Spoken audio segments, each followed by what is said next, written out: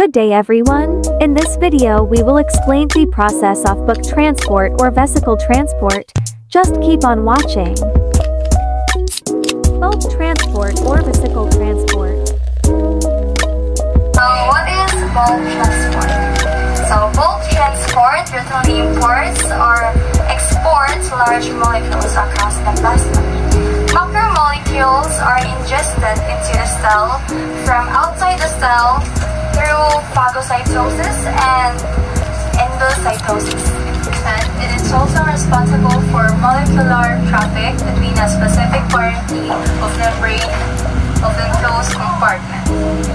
So these are the proteins. So proteins are to be secreted are synthesized in the rough endoplasmic reticulum or RER and pass into the lumen of endoplasmic reticulum and glycicated and transported to the Golgi apparatus. So this one, as you can see, it will move like this and then uh, until it reach the Golgi apparatus.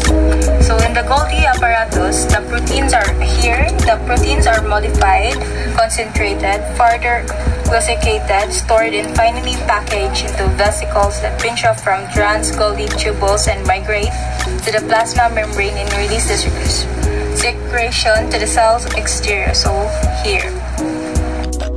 So during exocytosis, the vesicle membrane is incorporated into the plasma membrane. The cells that have secretory functions, such as pancreatic cells, pass out their enzymatic secretions outside the cell. The proteins of ingestion of large-sized solid substances by the cell is called phagocytosis. So this is the phagocytosis, which is also known as cell eating. The process of phagocytosis, external solid substances are captured by an area of the plasma membrane, which ultimately pinches off the cell surface to form a vesicle around the solid particle by the process named vacuolization. Term phagocytosis was coined by Russian biologist Mechnikov in 1882. Occurrence of phagocytosis is seen in most protozoans and certain cells of multicellular organisms. In multicellular organisms like mammals, phagocytosis occurs very actively in granular leukocytes and in the cells of the mesoblastic origin. In the process of phagocytosis, external solid sub substances are captured by an area of the plasma membrane which ultimately pinches off form the cell, cell surface to form a vesicle or vacuole around the solid particle by the process named vacuolization membrane vesicles or vacuoles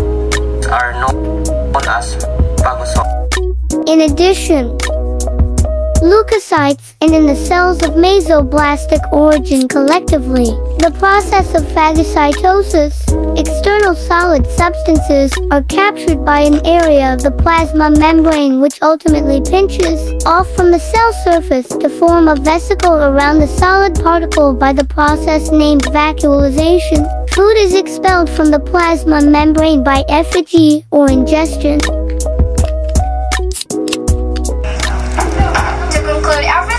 This model, we say vesicle transport and bulk transport occurs across the plasma membrane of the cell.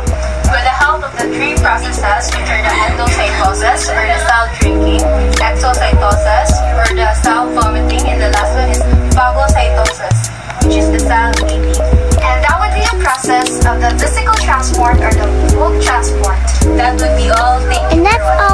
video.